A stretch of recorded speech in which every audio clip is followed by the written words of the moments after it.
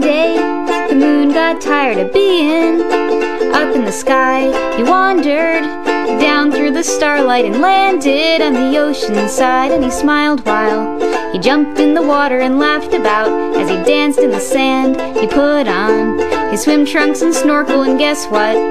Mr. Moon swam. Did I tell you that moonbeams are heavy and therefore Mr. Moon sank? He fell down through the sea walls of seaweed and landed at the bottom of the tank. And he sat there with the starfish and jellyfish and laughed about with the sharks and the whales. They drank lots of Miller Lites and Heinekens and laughed about all of their tales. Oh, Mr. Moon. The stars are shining for you in the night sky. Please come home.